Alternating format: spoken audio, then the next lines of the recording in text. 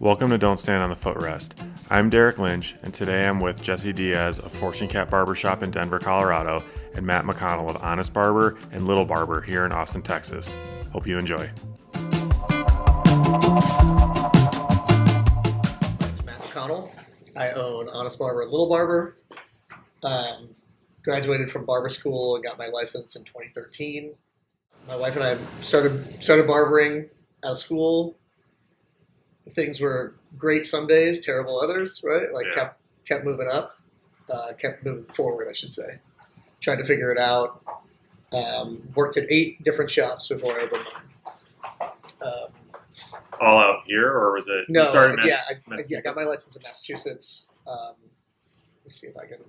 I want to say that I worked at five in Massachusetts and three out here, and then number nine would have been Honest Barber. Yeah, So, um, which was by design to a certain extent, right? It's like I wanted to, like, I was old enough when I went to barber school to know that I was like that I didn't know everything mm-hmm. Yeah. right? I think at a certain age, I started recognizing like there's things to learn. Yeah. that, I'm, that I'm not the smartest man in the room every time I walk into that room. Right? I, don't, I don't, I don't know what made me, you know, that's poor parent. I'm going to chalk that up to poor parenting. Right? but it's nice when you work in like a bunch of different shops. You see little things from each, good and bad. You know what I mean? And you kind of just collect all that data, and then when it's time to open up your own spot, you know what worked well, what didn't work, what may work well for you, what didn't work well for you. Just kind of, I don't know. It's It- all just like a. It kind of just encompasses all of our experiences in the industry, Yeah. and you can see so much of that in like everyone's projects. It's like, oh, I see because you know Jesse worked here. I see that little bit here in that part of the Mhm. shop, and same with you. It's like I don't know. I think it's really cool. A 100%. Like, it would be fun to see my old bosses or shop owners come Yeah. to my shop and Yeah. be like, Yeah, I see you. yeah. right? The Because influence they is would, 100%, right? Like, I owe all the success of my shops are owed to those before me, Oh, totally. And it's just like, I, I knew as soon as I graduated barber school, there was a place for my for what I wanted to do. It was just a matter of me gaining the experience to feel like Yeah, I deserve to open a shop, right? Yep. I know, and then yeah, just we we decided to make a move out here. We did like the hipster national tour. We went to Nashville, Asheville, Raleigh, Durham, uh, Wilmington, Sacramento. We had been to Austin a couple times, and it was pretty easy to make the choice to come here. yeah. Um, I had lived in Denver, where you guys are coming Mm-hmm. from, for like eight years, and that was on the list of places. But my wife did not want to go anywhere with winter, um, so we uh, so we landed here and just I worked at a great shop for a little over a year called the Grand, and met some awesome dudes there, and then went to another shop called Avenue in town, which is amazing, and that's when I like through like just a process, right? Sort of really said to myself, like, now's my time to do it, right? And that, that, first shop was up for sale, and it didn't work out for whatever reason, but I had gotten a bunch of money together with a business partner who's now my ex business partner, but, um, and we just, you know, opened the shop. And it, like, it wasn't like it hit the ground running, right? Yeah. uh, you, you know how it goes. It's like your, Mhm. your blood, sweat, and tears go into that Yeah. thing, and one day it kind of becomes something. So, Yeah. What made you like? How did you know when you wanted to open a shop? Was that something day one? Went into barber school knowing that? Because I mean, it's not like you and Nick kind of like knew, right? Yeah. It's like that was like your dream. You know what I Yeah. mean? So you knew that early on, but like, did you know? Like, when did you know? Because there's a lot of guys that just like I don't want to say fall into it, but they never really expected or planned for that, and then Yeah. they here they are opening a shop, and then several more down the road, and this huge success, and I don't think they like necessarily planned for it, but No, I, I would say um, I I have an entrepreneurial sort of like spirit yeah, is is how I'd always describe it, and I've air quotes opened a Yeah. lot of businesses Yeah, in the past, right? Ranging from just like because like I was coming up in my early twenties and like the early two thousands, right? And, like the dot com boom was Yeah. like my formative years uh, when it comes to that, and I, like I was like, well, of course I'm going to be a billionaire, right? Like Yeah, that's just of what I course. do. you you buy a domain and then you're a billionaire, right? So, you know, did did some fun stuff like that. Like we had a lot of fun in Denver. My buddy and I were kind of like we did like a promotion business that was really Yeah. just us throwing parties at bars. Yeah. right? which was it was awesome. Yeah. Um, but anyways, my entrepreneurial spirit and, and like barbering just like fit, right? Yeah. It was like I had the experience of cutting hair, and then knew that the next step was just become a business owner.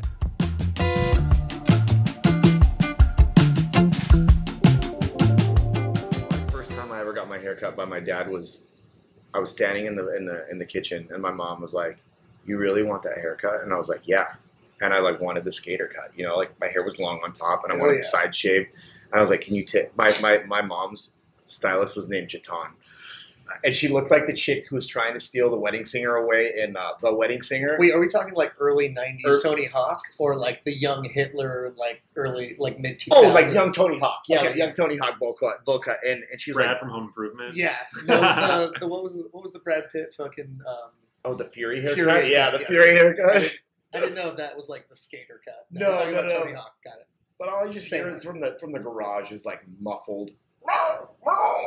Like, and I'm like, oh my god, what's going on in there? My dad opens the door, and our our cockapoo honey comes flying out of the garage, covered in nicks, buzzed down to the freaking skin. And my dad's all, "You're next," and I was like, oh fuck, maybe I don't want this haircut anymore. That's You- hilarious. That moment though, do you think that was like formative to you becoming a barber? Do you ever think of like Well, I you think noticing with intent the like actual hair? Just, Well, my mom was just always like, dude, you like fix like hair all the time, like with stuff. Like, would she be like, I'd be like, move that hair over there, or like, I'd be like, I'd be like, I like that dude's hair, like you know, dudes that have like big pumps and shit like that. I was always always into hair, like I thought, like yeah, like well, it was like everything that tied it together. My grandpa was from the you know 40s and 50s, so he like dressed that way, and he carried his life out that way. So like. When I saw that, and I was like, "Damn, like that!" Like Grandpa would say, "That's like slick." yeah. And then eventually, like it kind of just started like where I gave a shit about my hair a lot. But it wasn't like overly done. I'm just like, I want healthy hair and I want this hairstyle. That's what I mean. It's like I, And- I think it whispers to us. I think our like the hair career people, like sure, there may be some people out there that like I always wanted to do that, but Yeah. I wasn't that guy. Like I, I have a marketing degree, right? Yeah. Like I thought I was gonna go off and like do big corporate things. Yeah. Like I worked at Charles Schwab in Colorado, right? And like, but I was always down. Like I, I'm always been messing with my hair. Yeah. What was your like tipping point? What was like when you're like, okay, I'm gonna go to barber school? Like, what was the one thing, or was there like, Yeah. did it take time, or was it? Because I can think back at mine, and it was almost like a day of figuring it out. But some people, it's like takes a while. For sure. No, I, I got fired from a job, and like I had always bartended, Yeah. like kind of as a side. so many barbers used to be bartenders, or Right. like servers, or just like in service, right? Like Yep. Like the, the ch- the chatty mechanism, I think, is important. Right? Like, mm-hmm. I mean, whether whether you have it or not, is not probably indicative of your like success. yeah. But I feel like a connection with somebody, you know, helps you become probably more successful than your skill Yeah. reflects. Because you have listening skills. right? like, Like, you, you're able to deliver the service a lot better. The people that can't communicate very well, um, I feel like struggle with that, right? It's, Yeah. The consultation's everything, and how do you how do you get something out of somebody that doesn't know what they want or how to describe it, but through good conversation skills and listening, you can get it out of them and make sure that they're satisfied and happy when they leave. doesn't it feel like every single barber out there is trying to be the best barber Right. in air quotes, right? Right. Like everyone's fighting over that like highest skill trophy. Yeah, where it's like that's a really hard like thing to live up to yeah, and also to like i mean if you're not going to talk about it like who's going to know yeah, Yeah. right like your your gram doesn't matter to anybody except for other barbers yeah. right like clients like my clients don't even know to use instagram to Yeah. find barbers right At the most, Yeah. they'll use it for a portfolio. Like I always tell people, like some of our newer hires, I always tell them, like people use it as a single small tool in the bigger, bigger like thing of trying to find a shop. So they'll look at location wise, what's near me. Okay, Mhm. then they're going to look at Google reviews. They're going to look at the website, legitimize that. If it's some shitty one page, well, I think it's one page is fine. But if it's again, they're going to look at like the professionalism of that, especially if you're at a higher price point. They're going to they're going to check all these boxes, like do they have any red flags? And I think the Instagram might be part of that for like millennials is like looking, oh, they do have an Instagram. Okay, I guess it's a green flag. What does it look like? And if it's just tiled semi well and they are up to ish date and they make posts and the last post is from 2013 and they see some haircuts, they're like, oh man, well, I don't know what barber to go to, or do I go to a senior barber, a barber, or a junior barber? What like what do I want? They can kind of go like, oh well, Brendan did this awesome like mid length dude, I think that's what I want to do with my hair and grow it out. I'm gonna start going to him. So there, it might help funnel people into the right area, but it's not. Nobody uses it as like the first step of it. it. If anything, it just validates what they're already thinking. You know? there's an ecosystem we're building, right? Yeah. and Yeah. like if you make that appealing and easy enough Yeah. to integrate into from a client point of view, Yeah. they're just going to come, Yeah. right? And like, given the quality of this table, we're probably going to do like 95% of those haircuts well, like in our shop and Yeah. at this table. Um, and the other five percent, you can't. You, can't- you can't win them all, right? Like Yeah. get them next time. Some people are going to leave that one star review, worst experience ever, worst haircut ever, things like Yeah. that. And it's like it's a bummer, right? Because no barber wakes up in the morning being like, I cannot wait to fuck this guy up. Yeah. I am going to fuck up the first guy that sits in my chair today. And Yeah. no client wakes up trying to ruin a barber's day either, right? Right, Like, right. It's just not how life works. But like, you know, sometimes those those roads, Intersect a little bit. Yeah, for sure, dude. Yeah, Like, like- yeah. and we both end up, we all end up on the, the losing side of that. Yeah. Good news is it's not a tattoo, right? Like it grows back.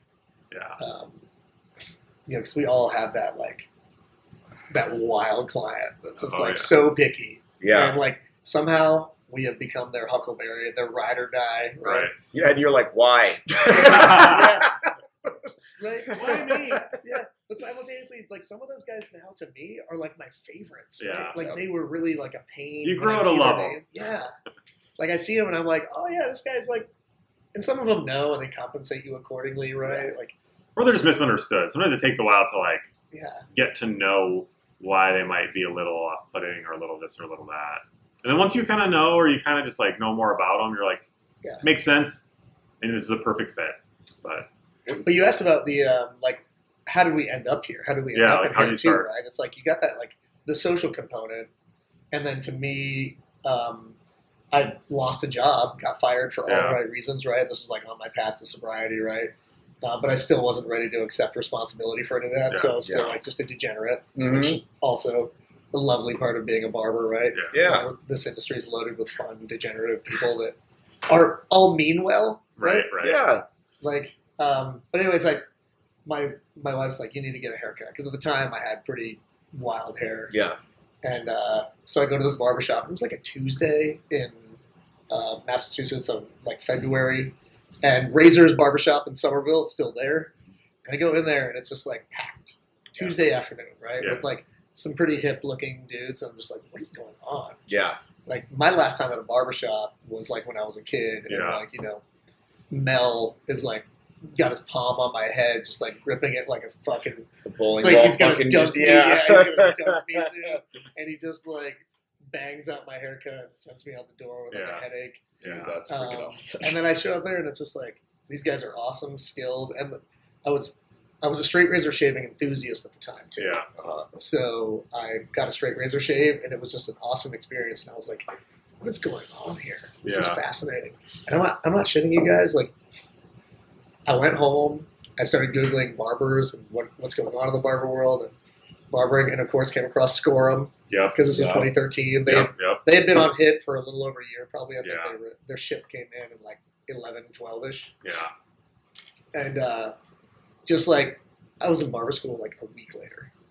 Like there was one right around the corner from my house. Yeah. That was no lie, right? Like, and I went over there, and I was like, dude, I'm gonna be the king of this castle, right? Yeah.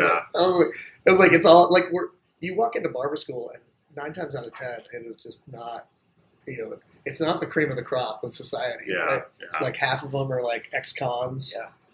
and you know we're we're all cut from that same cloth Yeah. In one way or another. But mm-hmm. like, you're like, man, this this industry needs solid, foundationally sound humans in it. Yeah. right, Yeah. to help usher us into another generation. Because like Yeah. a lot of us are just like whatever way the wind blows. Yeah.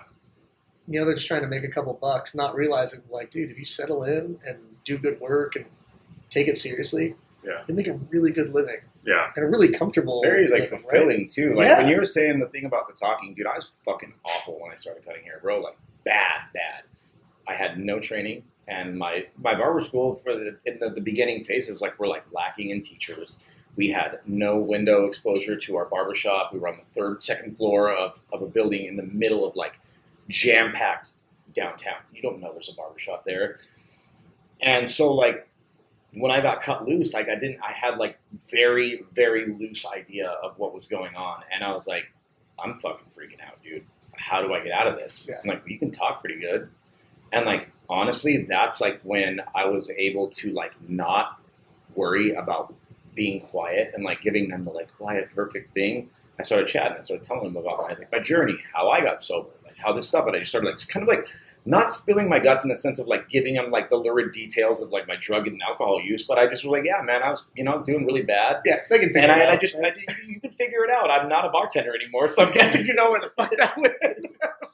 but my ability to talk was more than my shitty haircuts. And so people would come to hang out and chat with me and get my shitty haircuts, but then I'm like, okay, we're on number two now. You can't fuck this up.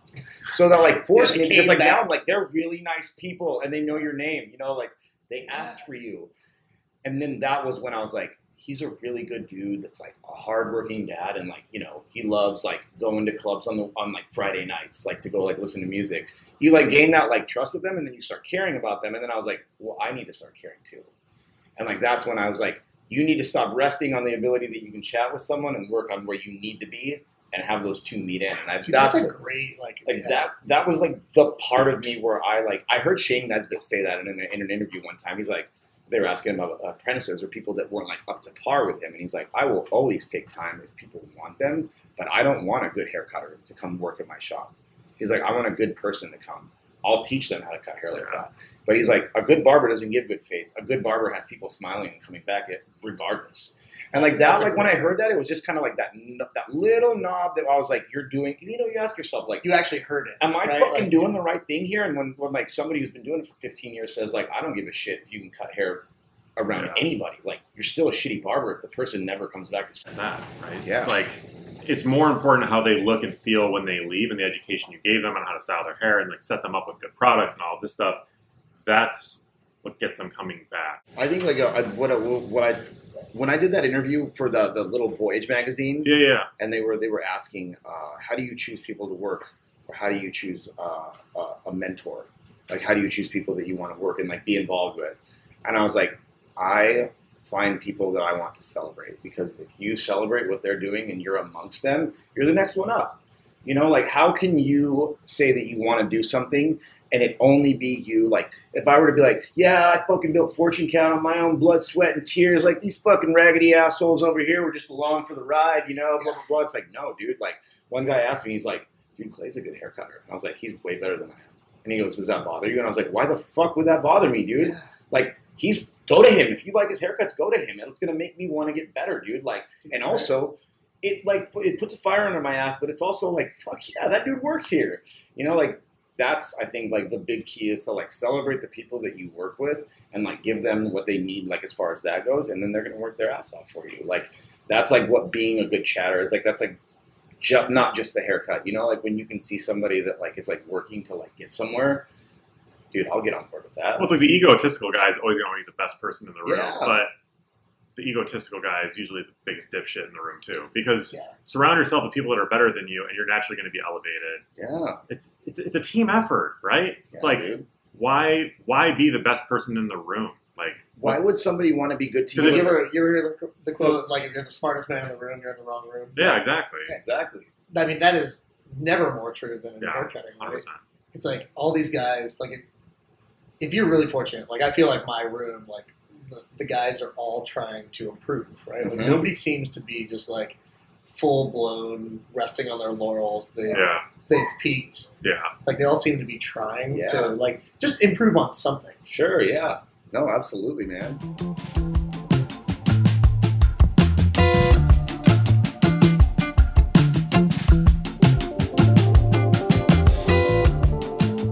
So when did you open Honest Barber? Okay, so first one? Honest opened in 2019, February of 19.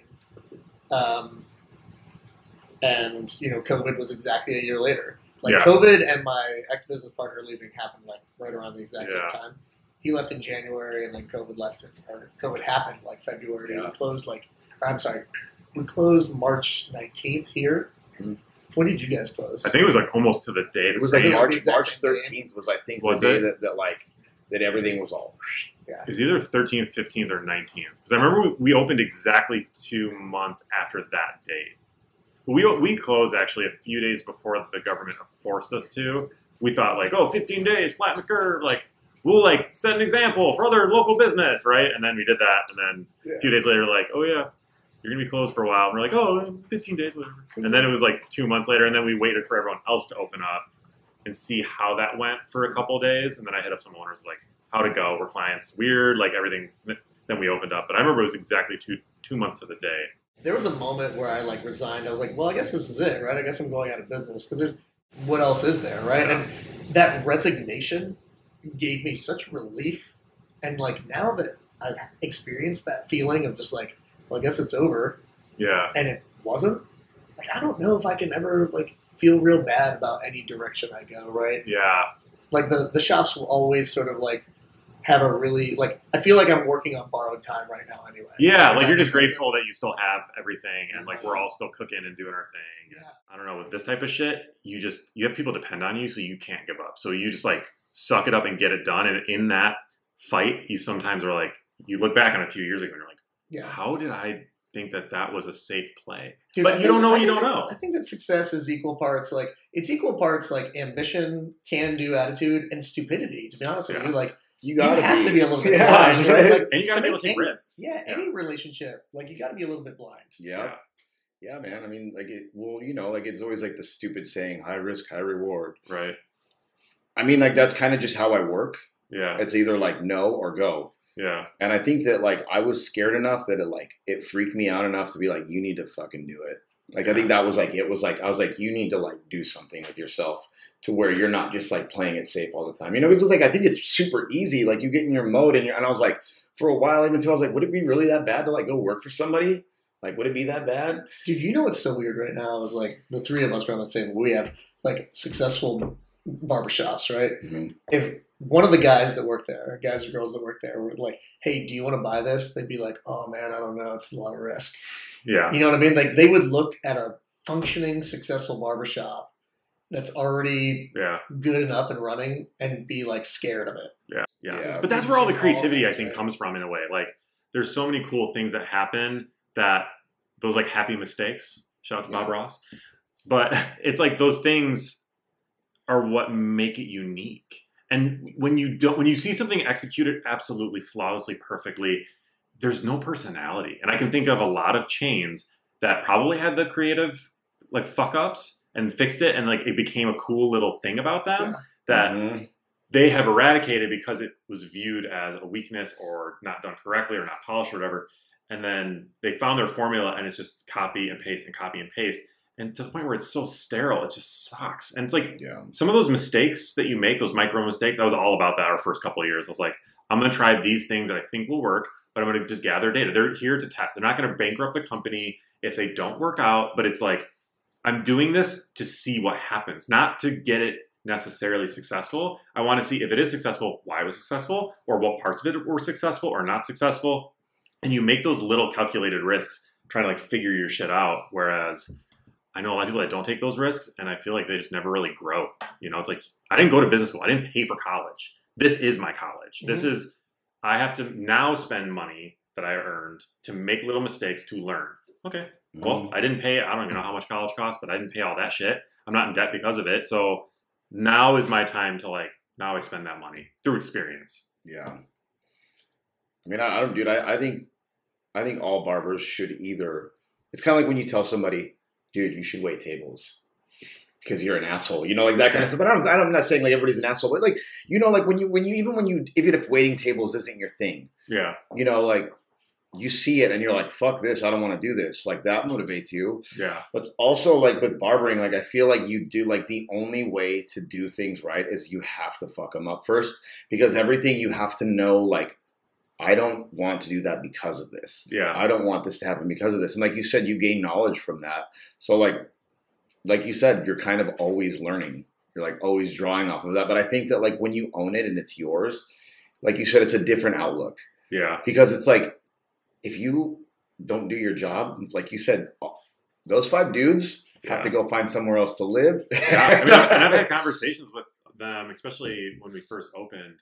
That there's things that like as a friend might bum them out. You know, we opened with like my my closest friends, Sure. arguably my only fucking friends, which is sad, but thanks Right guys for with sticking by my side. but you know, it's there was times where I was like, I, I talked about Rosemont like it was a living person because it is in a way, and there was times where I was just like, look, I'm trying to do what the best the best is for you guys, but I also have taken account what is the best for Rosemont, and they there's a lot of things that will live simultaneously and like symbiotically, and Yeah. what helps that helps you. But there are unfortunately going to be some things that stress you but help Rosemont, and some things that maybe help you but stress Rosemont. And I have to learn how to balance those things. But it is a living, breathing thing. We can't just neglect that it exists for the sake of just everyone being happy and not being able to sacrifice maybe a little effort or this or that. And like these are just things that are just going to have to naturally happen for the success of everybody. It's a give and take. There's pros and cons. It's just the way it, you know, it's the way it is. And that was like a weird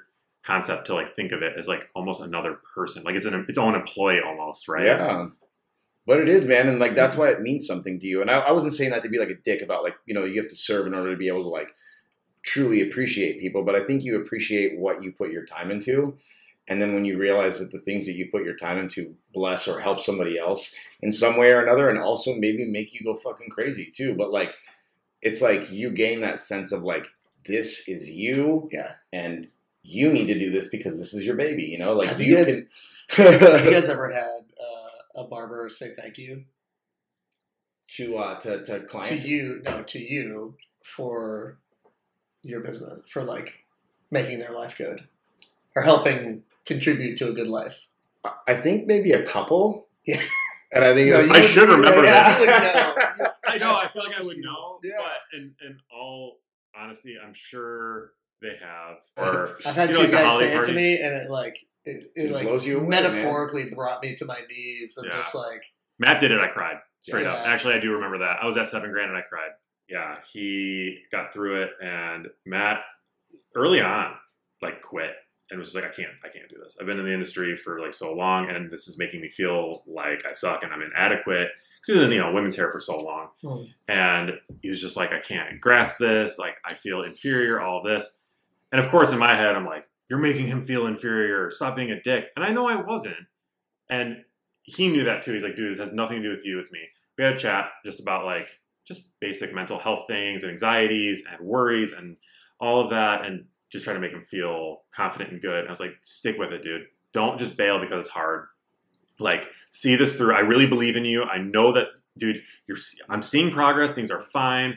Things will be fine. And then they were. They were fantastic. And Yeah. dude, we love Matt to no end. Like, he's seriously awesome. And Mhm. I think when we were at seven grand, he made me tear up. Was he just he was like making me feel like I was good at what I do when I was brand new.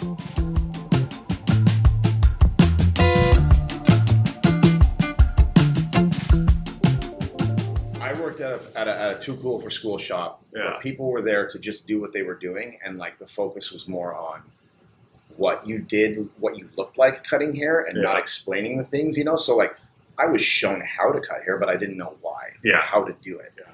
Like I just watched them do it, and like that, like I don't know. I just think with like the education thing, like I just think that a lot of barbers are told Instagram is how you get as how you get famous, and then you just got to pick up the pieces over here. It's like you gotta YouTube have the, you gotta have the sick ass video with the turnaround and the head bop and all this stuff, you know. that's and then, hot.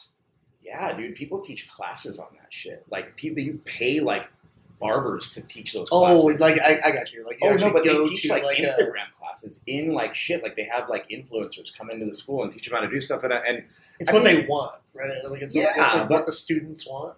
but I mean, if you I know how to dress in Stone Island, what else after that? You know, do you know three base haircuts? Can you do a slick back, a side part, and a crop?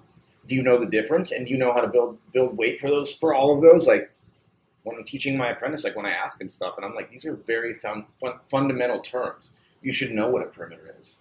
You know, you should know where your occipital and your mastoid are because people talk like that when they're teaching important classes. They're not going to be like the bumpy thing behind your ear, you know. But like, you don't get there unless you put the time in.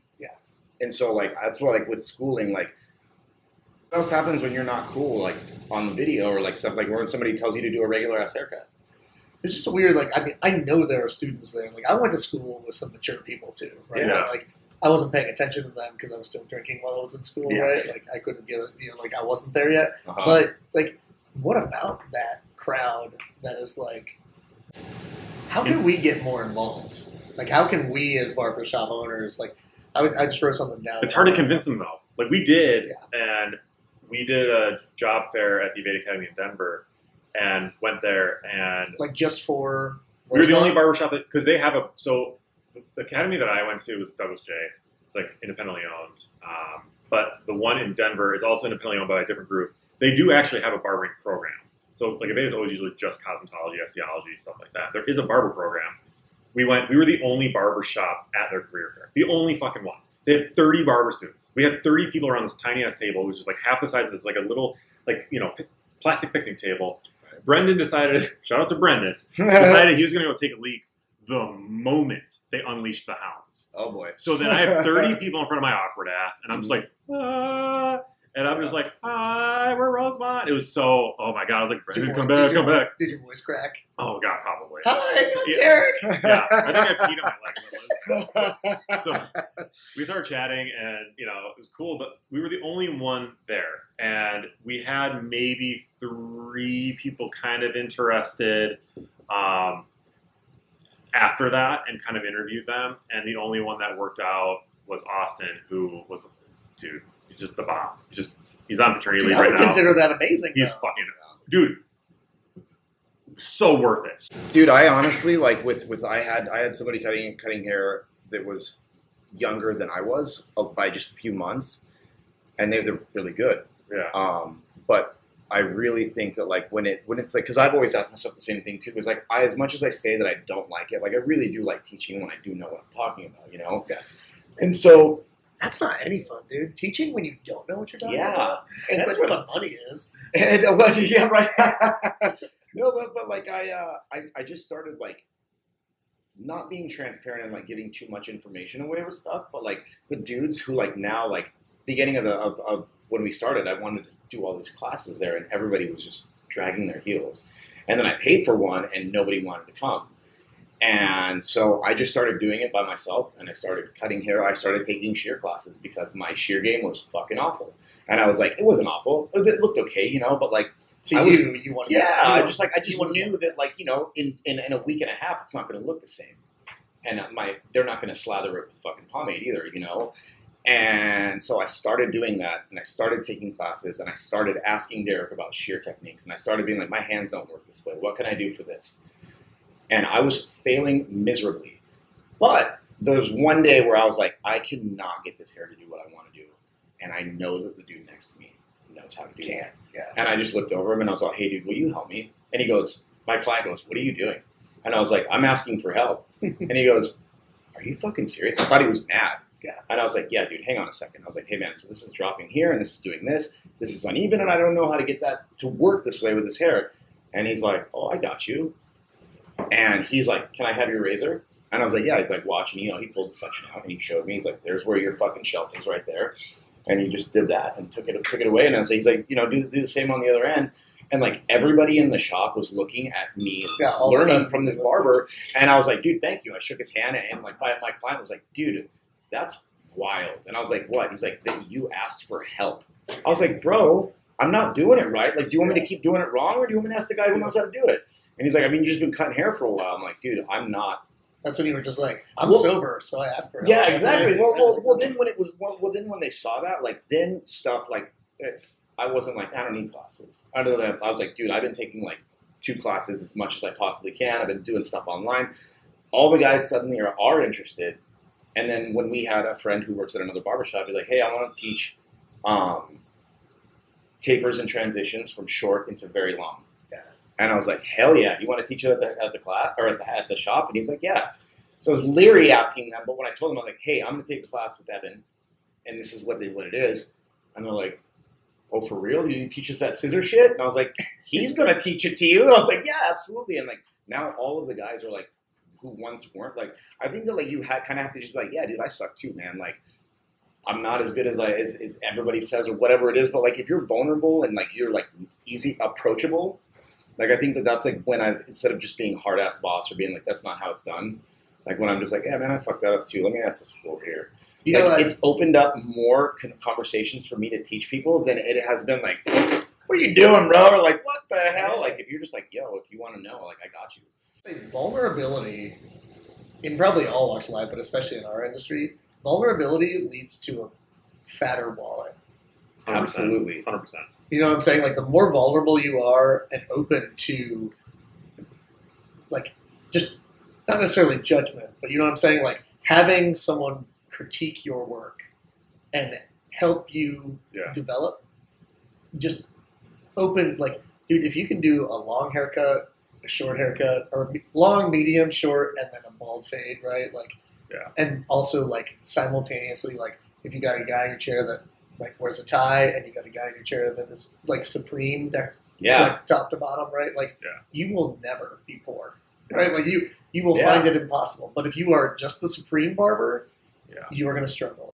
Vulnerability is a weird word because it's, it, it, it implies less macho or less who you are. But like I think vulnerability to me is an understanding that I'm not where I need to be or that I can get better and I'm not there.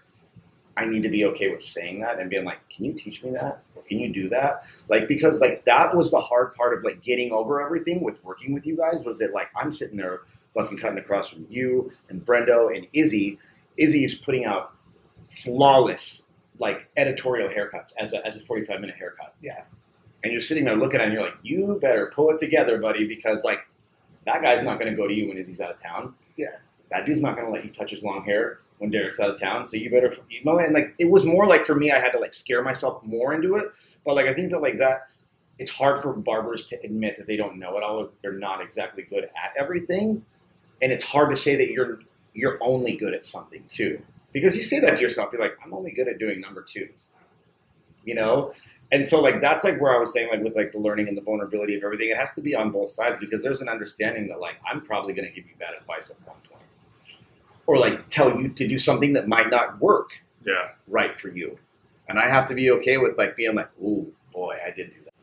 I know that anxiety. Have you ever like turned a guy to the mirror and just had a fucking chill go up your spine Yeah, I've of seriously like, I don't know how I got here or why, but like this haircut is not what I wanted. Yeah. I've only had one in recent memory, and I just I don't I just couldn't get it to do anything cool. And what he wanted, it just didn't. It just didn't work, and it was a miscalculation. But other than that, I don't really have a lot of those days, and that doesn't. I don't want that to sound arrogant. It's just I think I finally hit a point, which is why I kind of felt so ready to do the curriculum and all that. I finally hit a point where if I don't know, I have enough. I think like what you said was great. You know something really long, long, medium, short, like ball fade. You know like four core shapes, which is exactly what we mhm. have in our. You can take principles from those and do anything in between, and that's the thing. It's like if you're the supreme guy, then and don't get me started because I'll talk about it for fucking hours. but I am watching barbering shoot itself in the foot again. in that, it died in the 60s because no one wanted to cut hippies and cut long hair. Yeah. And now we're running into the same fucking problem where no one knows how to use scissors. Everybody no one knows how to cut hair. men with longer hair. Yep. And they're just, and they're worried like, oh, well, if I cut their hair long, they're only going to see them like twice a year instead of every month or every two weeks. Yeah, but what about their four other friends that have long hair that have been looking for a barbershop that cuts medium length? exactly. Do you think You know, like, nothing against salons, but do you think a lot of those guys want to be in the salon environment? They want to come to a shop. It's just no barbers are willing to do it, and no one will invest in their own education to do it. You know what happens once a week that I hear is like I go to a barber for a fade and I go to a salon for the top. I, dude, it, Like once a week, somebody comes into the shop that's like, I didn't even know I could do this. I didn't even know I could do a Yeah. one stop. I thought I'd just get a fade here and then go. Yeah. do we, we we hear it too, and I mean, like we thing that- squash it immediately. We're like, okay, you can come to one place now, Yeah. because of what we do. But it it it irks the shit out of me. It is so painful to see. It's a lot of the newer guys. You know, it's the new heads that are just like. It's like, do not read a history book. Do not know what killed it, killed this for decades in the first place originally. Why are we doing this again in America? Right? Like, why? It just it, it, it boggles my mind and it pisses me off to no end because it's the guys that don't want to adapt and get better. And you know, call me hypocrite. I don't do designs and that wacky shit Yeah, I? because I think it's a fad. And fads to me are I don't give a shit. They come and go. But like foundational haircutting is not fat. That is like literally what we do, right? And you need that foundation, right? Yeah. Like if, if you are really drawn to designs and you are going to make that your life's work, right? And you can build a core clientele somehow out of that, Yeah, then yeah. fucking go. Yeah. Plenty of people out there are great with designs and do all kinds of fun stuff, right? But far be it from me to judge them. But I'm with you, right? Yeah. Like I know who I am. I know what I'm interested in. Like you want some cat scratches, you fucking got it, right? Like. I'm all day. Yeah. Um, but I'm with you. Like there's a, there's a goofiness to designing that I'm just kind of like. It's just Well, not like I-. Yeah. Plus, like, I'm not going to be 60 years old giving 17 year olds like the Boston Bruins logo on the back of their head, right? Yeah. Like, I, I just I can't picture myself being that person. Well, we saw, you know, the the designs and stuff like that in the '80s and hip hop, and it was like late '80s, and then even into the like early mid '90s in the hip hop scene. And it was fucking sweet, right? It was cool. Yeah. And then now it has turned into like a bunch of just. There was a reason that there was like a almost a 20, eh, maybe like 15 year gap between it. Things come and go. The designs, you know, late 80s, early 90s, and then they kind of went away. And then like they would come back recently in the last handful of years, and I feel like they're going away again. But like again, if you know how to cut hair well, when the bowl cut comes around, you know how to do that level of graduation. Mhm. When you know Tony Hawk early '90s or late '80s skater Yeah. cut-ins, you know how to do like a proper square layer. You know how to do these things. You know how to work with fringe. You know how to transition. You know how to build weight. You know how to reduce weight. Those principles are things that like if you know those core shapes, you can go in between. And that's why earlier I said I don't really get too nervous about anything, is because I know mapping it in my head during the consultation, I'm not going to do the exact horizontal graduation that we teach in the curriculum. I might on a couple people, but I might take a principle of that haircut, and then I'm also going to, you know, use square layering for something, and then I'm going to take the fringe and do alternating subsections and create texture doing that. Or it's like I have this arsenal of shit because I took a shitload of classes. Your and all attaché has everything. it's like you, you call on that shit, dude. It's like fucking what is it, Zelda? It's like it's like a whole. Or his little ocarina. He's got his whole thing. It's, Yeah, it's dude, the same fanny thing. pack is impressive. And right? it- It's bulgy, baby. But uh, because of that, I don't I don't get nervous. But I mean, I did for a very long fucking time. But I finally, you know, well, this is a language, right? Like our industry, our, our skill is a language, Yeah. right? And like Mhm. people that are really, really adept at it, right? Like yeah, that just you wanted to get good at something, Yeah. you got good at it, you looked at the next thing you wanted to get good at, Yeah. and now it's like every skill translates to like there will never I was just be gonna say that. Yeah. there will never be a moment in time where you can't give whatever the trendy haircut is. I look at these current trends and I see these guys coming in, and I'm just like, yeah, absolutely, dude, I got that. Yeah. But like, there was a moment where I, I couldn't even give a fade, right? Like, Yeah. I couldn't even taper Yeah. somebody out, whatever. And then like now, it's like you put all these skills together.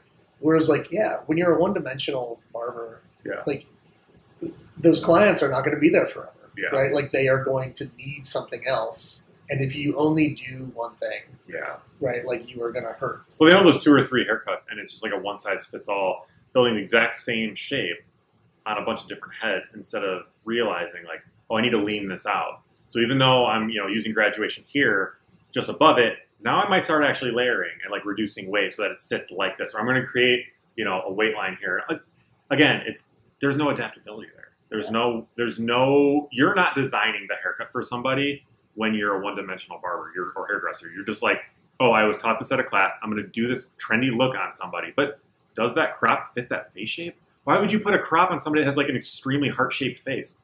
It's going to make them look goofy shit. They're going to look like fucking Megamind. Because I said Right? Oh, Eddie Munster Or Eddie Mun- It's just like, right? So seeing those things, and for me, that took a long time. It's like Johnny Bob always says, like the barber's eye. It took me a while to see that, especially in hairdressing, which is probably why I was always stronger in men's cutting because I could see it a little easier in men Mhm. than on women, but like I didn't know what was suitable. I didn't know what was tasteful. I didn't really understand it. I just did the same haircut on dudes, you know, scissor over comb that I was taught, never used clippers, and I was one dimensional. And I got away with it for a long time. And then I was like, enough. I wanted to be more than just that. And then, you know, it takes a lot of time and, you know, years You- to be confident. You know, I think the moment was for me is like I, I saw a guy because there's there's a bunch of different ways to build a clientele, right? There are people in this world with so much charisma that it doesn't matter what they do, Yeah. Oh, that yeah. people will be attracted to them, and Yep. like I am jealous of that. Like I have a small amount of charisma that I lean on from Yeah. time to time, sure, but like you, you know the person I'm talking Yeah, about, oh, right? yeah. Like they have I could name a few right off the top of my head. genetically just like different humans. Yeah. like no matter what they Yeah. do, they have an audience, right? Yep, yep. Um, but the surefire way for the rest of us to be booked weeks in advance Yeah. is because we are well rounded. Like Yes. we have a depth of skills, and like we are good people, right? Like Yeah. we're reliable. I was just gonna say dependable, reliable. Yeah. I was like waiting for you to say. I'm glad. Yeah, like like showing up every day to work is like it, it's such a boring. Like nobody like it's the people are probably game, turning though. off the podcast right now because they're like, oh, that's fucking boring. Yeah. You know? I want to hear rock star shit, but like Right. the consistency and like that's longevity, right? And dude, I'm playing the long game here, man. I'm not going to be a barber for four years and piss off. I'm. This is my career. This is what I do. It's all I know. One of the first things he told me one day when I was talking to him, he called me and he's like, Harry, are you going to work at the place after you're done with your apprenticeship? And I was like, I don't know. And he goes, Can you answer one question? And I was like, Sure, dude. I was like, What's up? He's like, Are you looking to make money or do you want to be good at what you do? And I was like, I honestly want to be good at what I do. And he's like, Dude, fucking right on. Like, that was literally a phone conversation we had. Because I just asked him, I'm like, Dude, what do I do here? And he was like, Do you want longevity or do you need money right now? He's like, Either way is not bad, but you need to figure out where you want to go. Yeah, And like that was honestly the moment when I was like, I really do like haircutting, and like I want to do this because like I had an opportunity right out of school to make thirty five dollars a haircut, and it didn't matter what the fuck it looked like at one point. You know, like I'm also like one of those people that would probably shit their pants because I didn't know what was going on, and the the place was popular and it was filled with people. It's like giving somebody so, something too soon, and like that's like why I think that it's like important to develop those foundations and those like life skills in people. And even if you're just like an example to them like all of that put together leads to like you said a better life and a lot more satisfaction in the end you know what i mean? It's like oh well i made it through six years of my life and now i haven't done my taxes and i don't know where to work anymore because nobody wants designs or whatever it may be you know? Like i don't know like that's like where like all of that kind of like for me like moves into what makes like what what makes teaching fun for me and make it makes me want to like give into like an apprentice or something like that. And then you see that and then they realize that in you and then they're they're like yeah dude that makes sense but like like you said sometimes there's just guys that just want to do certain things and just want to like focus on that and dude it's totally cool but it is really exciting when you do find that person who's like yeah dude show me how to do that or like you're like yeah dude show me how to do that new thing you know like yeah, dude, a passion for the trade and also like a passion for showing up on time. Yeah. Yes. Yes. Yeah, we beat, we beat that horse earlier, Yep. big time. But Yep. Yep. Yep. Right, Um, that person though is is well, I don't want to say they're they're rare, but you know they are yeah, right. They're out there, but we have to find the one that wants to be in our shops Sure. and you know finds that enjoyment. yeah, And because the formula is kind of it's pretty straightforward. yeah, Um, but there are like the guy that wants to be in the barber lifestyle. That's not our guy, yeah. right? That's not our that's not our person that wants to come in one day a week, you know, and make four hundred dollars and then fuck off Yeah, for until they Whenever feel like working like again. yeah. yeah, yeah, like that's not our guy, right? Like he, the I, I find that barbers, uh, I say this all the time. They count pennies, not dollars, right? They're all like, "Oh, I want to pay the least amount of rent," and it's like, Yeah. sure you do, but like, is that actually? Are you actually making money? Are you making a living, Yeah. right? Because like, I can't convince you that you know yeah, yeah. paying less rent makes more sense. Like if you can't do basic math of like, oh, well, you're paying four hundred dollars a week in rent here, but you make two thousand dollars. Yeah. You're paying hundred dollars a, a week in rent here, Yeah. but you make four hundred dollars a week. People are chasing booth rent to the point where they're almost blinded by how much that price of the haircut will be. How how long are their haircut times in that shop? Like, are they held to a standard of thirty minutes or forty five minutes or an hour? How much are they going to make? What are their shop hours? Are they allowed to work five days or only four days? Are they given this many hours per week? Can they work overtime? All of these contingencies are like an afterthought. It's like We talked earlier about so a financial literacy or lack thereof in you got school. yeah, you got one of your guys who's like amazing at it, and Yeah. another guy who could not even like probably can't use a calculator Yeah. to escape a paper bag, sort of Yeah. thing, right? Like, Yeah. Um, and it's And that's okay. because you think that like, oh, this is real obvious, right? Like, so I'm going to net sixteen hundred dollars by working at this shop. I'm only going to net two hundred dollars by working at this shop. Like, they may not even know what the word net versus gross Yeah, means. exactly. right? And that's okay. I'm, that's this isn't about an insult. It's No. about like it's about financial literacy. Yeah. and like that that is a it's one of the one of the many mountains we have to climb Totally. When we're sort of recruiting people. Yeah. it's like, hey, how do I? I can't convince you this is a good job, Yeah. right? I'm, and I'm not even going to try. Yeah. Like, if you haven't decided that like haircutting at my shop is a good idea, at, at the very least financially, Yeah. then I I can't take you much further. I used to qualify the shop. Yeah. Now I want to qualify my candidates. Yeah. And I feel like that has been a big step for me because it Yeah. also is another elimination factor. Yeah. Right? Because like people when they talk to me, hopefully sort of understand like what my vibe is. hmm And you know, I, I, I kind of mentioned that like I want them to come in and try out. Yeah. It's a two way street. Yeah. Right? Oh yeah. Like Yeah, if they try out and they feel the vibe and they like it and they they like being in a room of adults that are like earning a good living and there to support each other and help each other and learn and grow. That's awesome. Yeah. If you don't like it, right, for whatever your reasons are, right, like Yeah. um, that's okay too, Yeah. right? Like I want you to feel good about it Yeah. because if you feel good about it, you're going to show up and Yeah, I mean, if gonna they feel- flourish, right? But like that's re- actually really kind of brilliant because like why would you want to try and thrive somewhere you don't want to be? Yeah. You know, that's a really great, straightforward, and like not insulting question. Like, do you feel it here? Yeah, Because if you don't, bro, like, like like you said, like that that will throw off the synergy of your whole. When there's not a lot of people applying, then how do you go? Oh, I don't think this is a good fit. And then you're like, okay, well then there's no one next behind them. Then what the fuck do I do? And you need people, and that's kind of been this like, well, up, they're offering this up the street, and you're like, okay, but and you don't want to talk shit and be like, well, I know all this stuff about that guy or this owner or that shop or you know what's he telling you? What are they telling you? Like, you because that's just that's petty, but you also want to look out for them because you're like, yeah, what kind of like false claims are they making? They're not busy, you know. Like you don't want to sound like a dickhead, but at the same time, you're like, no, but how you know the you- answer to that, right? Yeah. like, you got to let them make their own mistake, you do, you do. Yeah. But when you're like, I really, or or even if it's not a mistake, you- you have to let them yeah, shake their own tree.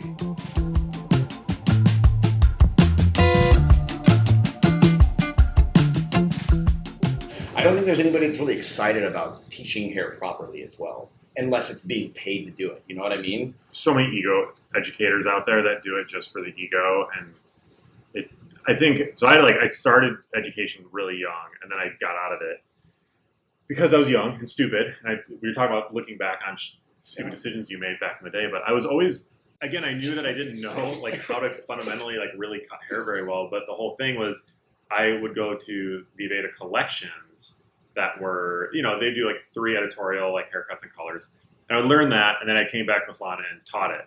And when you have people that have been cutting hair for 30, 40 years, and you've been cutting hair for like six months out of school, or probably a year at that point, they're like, why the fuck would I listen to this guy? He doesn't know how to do jack shit, which I didn't. But do you know to do how to do this asymmetrical bob that if you part it here, it's symmetrical, and you part it there, it's asymmetrical, but it still flows really well and has this like crazy razor undercut, all this crazy shit?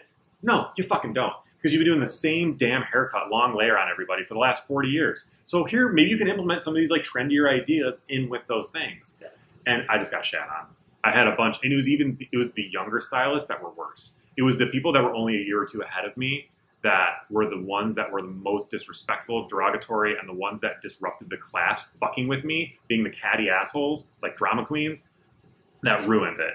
It was all of the older ones who were actually I was more nervous of because I thought they were going to have that attitude of like this fucking guy, and a lot of them did, but were still respectful because I think they're like he's a nice guy and he's trying, he's giving it 110 percent, so like let's at least give him the room, which I greatly appreciated. Um, but I think I saw that one or two classes that I did, and I just got my enthusiasm just just got shot down, and instead of being like fuck them, keep going, I was like listen to them, stop, and I did, and I was 19, a scared little boy. I shouldn't have done that. Yeah. But bringing up education is like there's so much of it that is just it's guys just wanting to like tout that they can do this and do that and show off, and it sucks. There, it, there's a lot like everyone's an educator these days, and me and Miles, the, our podcast, like the recording got fucked up and we missed a whole chunk because we were going off about that about just the arrogance in education, and it's hard when you find like a genuinely good educator who gives a shit for the right reasons, they can change lives. But again, you see a lot of these guys, and I'm not going to name names, that I've taken classes with that are just they fucking suck. They're terrible educators. They can cut hair like motherfuckers. They cannot convey a subject to somebody and make them better. They cannot help people retain information. They cannot. They, they're just showing off on stage, and you're like, Lottie fucking da, dude. Yeah. What does that do for me? I mean, it's part and parcel to our industry, though. Yeah. Like the beauty industry is just like you know, glitz and glamour, right? Like Yeah. that's, for lack of a better understanding, it's like that's just what draws people in, Yeah. right? Like I, I don't know how many people you witnessed like beauty school dropouts, right? Like oh yeah, they were like one day this girl was here, the next day she wasn't. Yeah. One day this guy's here, the next day he's not.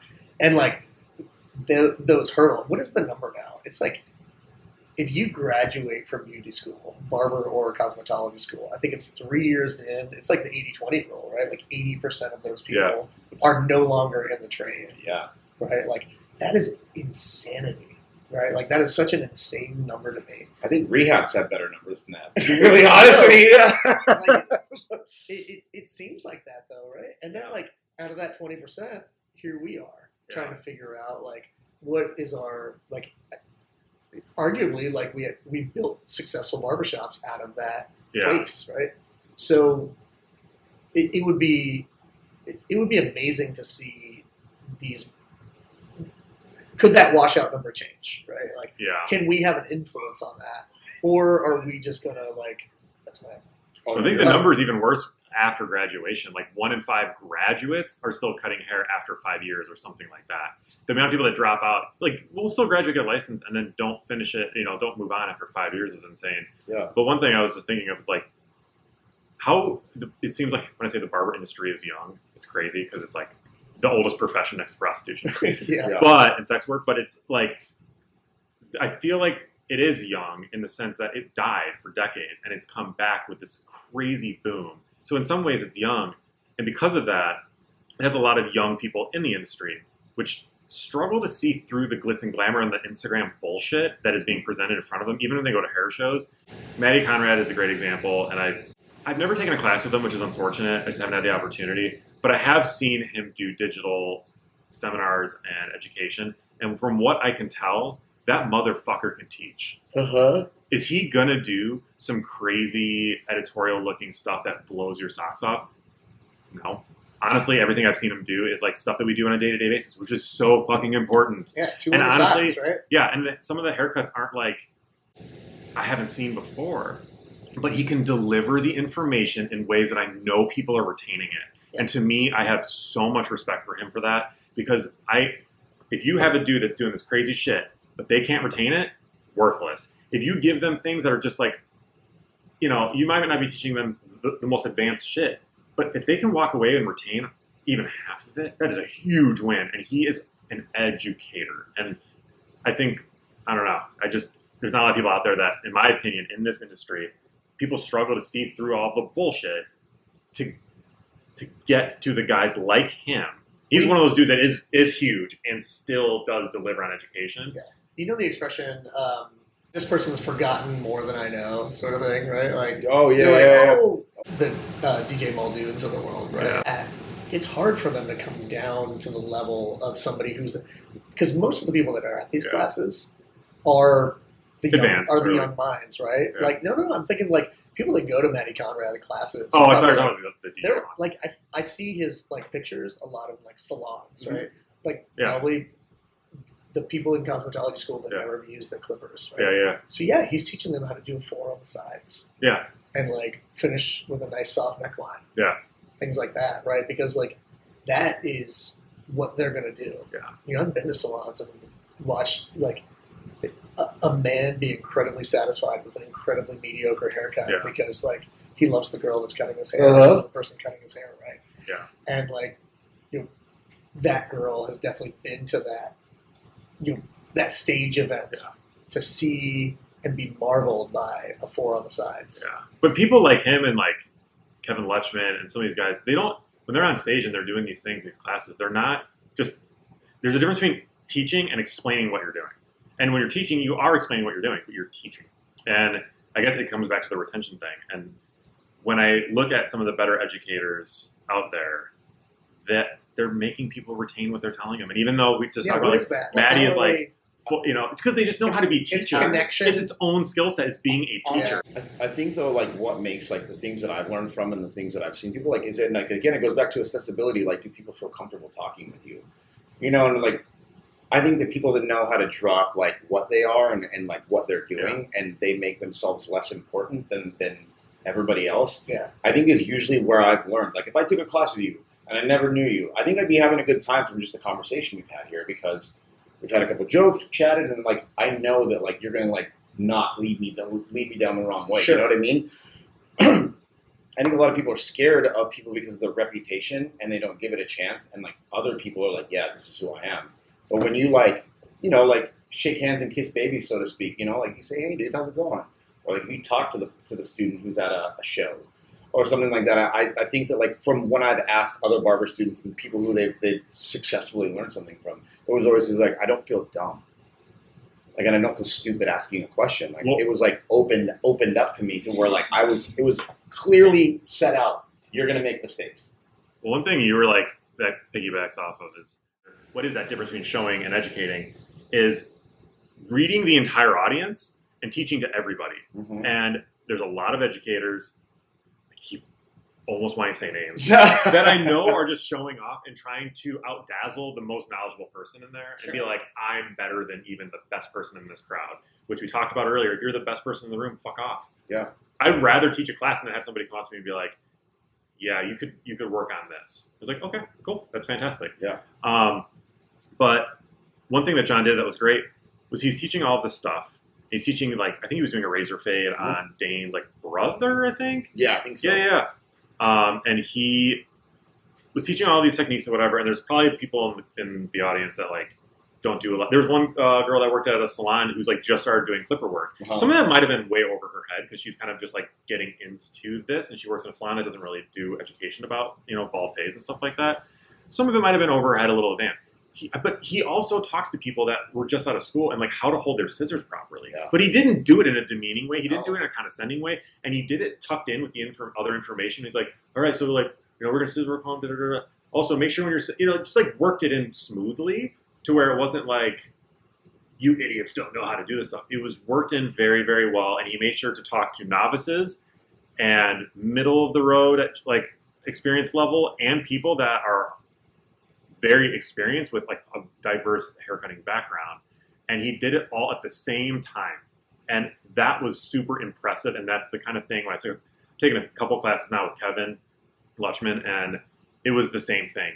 If you were newer you were never looked down on. He immediately knew how to talk to you as a newer barber or hairdresser. And if you were really advanced, he knew how to push you to get that little bit of extra out of you to make you a little bit better. Yeah. Um, and Matty, again, I haven't taken a class like one on one or in a small intimate group setting with him, but from what I've seen online, he does the same thing. I think that's one of the big things for me that makes an educator good, and that's what I try to do with our guys in the curriculum. Is you know when they have advanced questions, get them to that next level, and when they have really, they're like, oh man, I have a stupid question. I'm like, dude, it's not a dumb question. Yeah. Be humble, ask it. I'm not going to think you're stupid. I'm not going to think you're inexperienced. I'm not going to think you're bad at barbering if you ask me a simple question. Simple questions leads to really complex answers sometimes. And if you ask me a very vague, what you think is stupid question, I might be giving you a piece of information. And not, I answer that question, but I answered four other questions that are probably going to be coming next. And I saved us both time, and I gave you this very thorough answer that helped you answer a question maybe you didn't have today, but you would have in two more days, right? Sure. And it's just to me that's what makes people it's it's the same thing with service right? It's Yeah. like go they're your guests go above and beyond. Make them feel comfortable and take care of them right? Mhm. teach them like you want to be taught. They want to know everything. Give them everything you have right? Don't just show off